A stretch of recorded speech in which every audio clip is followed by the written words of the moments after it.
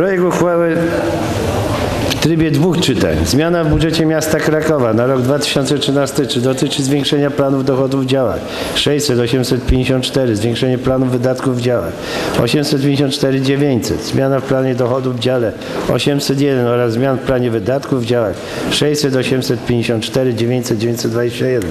Projekt prezydenta miasta Krakowa, druk nr 1469.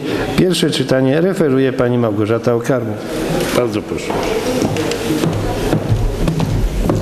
Panie Przewodniczący, Szanowni Państwo Radni, projekt uchwały zawiera zwiększenie planu dochodów i wydatków o kwotę 127 556 zł. Jest to związane z umowami y, dotyczącymi wzajemnej współpracy z Krakowskim Biurem Festiwalowym w zakresie promocji, y, w zakresie promocji, otrzymanymi środkami na współfinansowanie z Unii Europejskiej oraz y, planowanymi wpływami za żywienie dzieci w nowo utworzonej jednostce. Kolejna zmiana dotyczy zmniejszenia planu wydatków inwestycyjnych w związku z odzyskaniem podatku VAT. Y, Kwota skarbonki. 2 miliony 81 358 zł y, i zwiększenie y, tej kwoty na realizację zadania transport zbiorowy. Kolejna zmiana y, w ramach planu dochodów bieżących kwota 80 800. y, Jest to zmiana w klasyfikacji budżetowej. Y, Kolejna y, zmiana dotyczy zmian w planie wydatków bieżących między działami 55 748 zł. Jest to w ramach zadanie, zadania utrzymania obiektów kubatorowych i ścieżek rowerowych na zadanie transport zbiorowych oraz y, w ramach środków zaplanowanych na działalność poradni psychologiczno-pedagogicznej.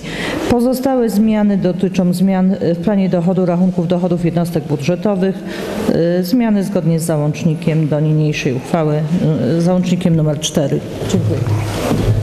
Dziękuję bardzo. Otwieram, otwieram dyskusję. Czy ktoś z pań, panów radnych? Bardzo proszę, pan Włodzimierz Pietrus.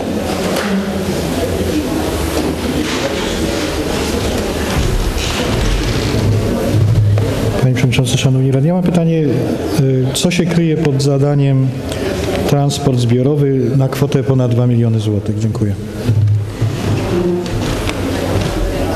Dziękuję bardzo. Czy ktoś z państwa chciałby zabrać głos? Jeszcze? Zanim pan odpowie. Zanim pan odpowie, w momencie. Czy ktoś z państwa radnych chciałby zabrać głos? Nie widzę. Bardzo proszę o odpowiedź. Bardzo proszę o odpowiedź. Witam serdecznie, Marcin Korsiewicz. A więc w kwocie 2 81 358 zł znajduje się, tak jak było w uchwale budżetowej, braki na transporcie zbiorowym, jeżeli chodzi o MPK, które sukcesywnie w miarę uzyskania e, zwrotu VAT-u, w tym przypadku z Centrum Kongresowego, jest przeznaczane na MPK. Dziękuję bardzo. Czy ktoś z państwa jeszcze chciałby zabrać głos? Nie widzę. Stwierdzam, że Rada odbyła pierwsze czytanie projektu i zgodnie z paragrafem 36 ust. 6 Statutu Miasta Krakowa określam termin wprowadzenia autopoprawek na 15.10.2013 roku godzina 15.